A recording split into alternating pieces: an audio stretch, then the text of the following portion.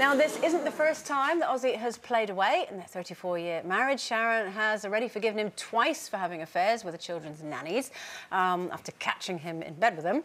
Um, now, Jane, you, you know them both pretty well. Do you think that third time, well, this is the third time that we know about, she's going to take him back? Can she forgive him?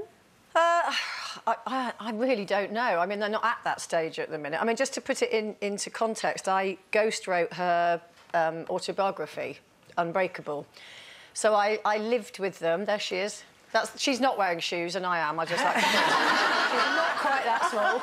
Um, but um, so I lived with them so for a couple of weeks, and I, I had a real insight into into their life and their marriage. And it's funny because outside of, of the family home, Sharon has a reputation of being very feisty, you know, a bit of a ball breaker. And um, but in their family home, she's not like that at all. She's really soft, quite vulnerable, very much the matriarch of the family. And he's, you know, if he has done, he's a fool because she makes this family home amazing. They're very close-knit family. He has everything he wants in that house. You know, he's got his gym. She fills the fridge with everything that he needs for a healthy diet because obviously he's sustained a lot of drug damage over the years and he needs to keep fit and healthy. Um, Ozzy's an addict. Mm. Ozzy is an addict and every single day for him it is a struggle to not to not go back to that. So he every room you go in he has a, a book on the table, the 12 step mm. book.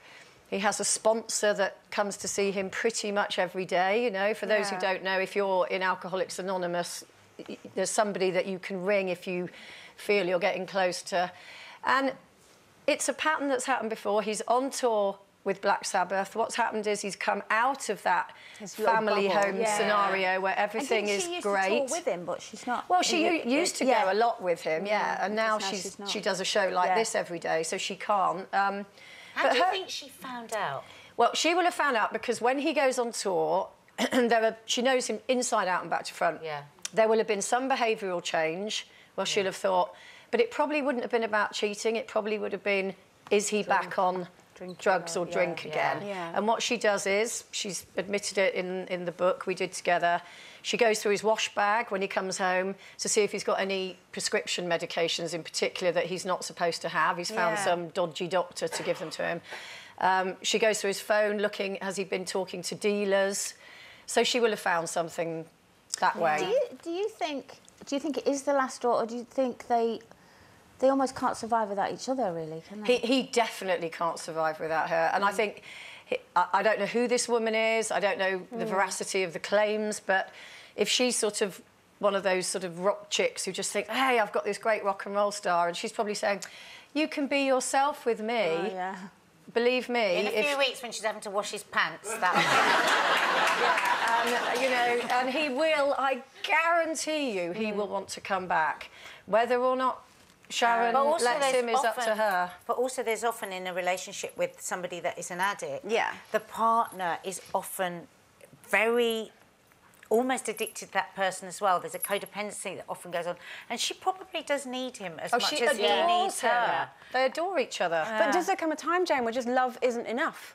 Where you have been at somebody's side, not necessarily, you know, in this instance, but you've been somebody's side for generations, you know, for decades rather, and uh, you've done everything you possibly can, and again and again and again, and just after a while, you just have to say, I, I can't, I can't carry you anymore. You're yeah. too heavy. Do you I know, but I, do that? I, think she's been at that point before, and, and you know, she loves, she, lo they've been together forever. Yeah. You know, she loves him. Their kids. How so... do you think the kids will be reacting to it? Well, they, they, it was Mother's Day in America yesterday, oh, so they all came to the house. Jack brought his two children. Um, Aimee and Kelly came as well. And again, you know, the kids, the kids will be if they know where he, I mean, he's in a hotel down the road, I think, but the kids will be saying to him, you mug, yeah. you yeah. mug. You yeah. know, you've got all of us here, you've got this fantastic family, but I'm not making excuses he's an addict. He's an addict, Yeah. And sometimes that, the love of the, ad, the addiction sometimes mm. overtakes your love for everybody else. And I think, I think as well, if you if if you are in that situation and you are living with an addict and you do get to the point where you think is enough is enough, don't blame yourself because I know there's a lot of people like you're saying, mm. Nadia. She doesn't blame You herself have that ever. need to care. No, mm. she always well, says it's we've your had fault. such Good. a massive, massive response about this. Um, Jean says, that's sad, but I think Sharon has probably put up with a lot over the years and now would be a good time to find some peace for herself. Um, Emma says he attempted to kill her years ago and she still stayed with him. I doubt she'll leave him. And Gary says, I'm amazed any woman would even dare to take on Sharon Osbourne by sleeping with Ozzy. oh, he's not finished.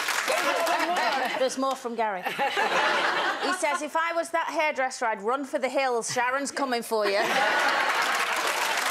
you know what? Even if she isn't coming, she, she'll send the postman after Yeah, you. yeah. She, has been known, and I'm not even making this up. She gets her dog to poo in little, or not even. Well, Oh, she did, it, poo. she did that once in bit. That oh, was you a poo in a box deal. once and send it to someone, and you're ever forever Yeah. a poo in a box and send it to someone. well, there you go. For more Loose Women action, click here.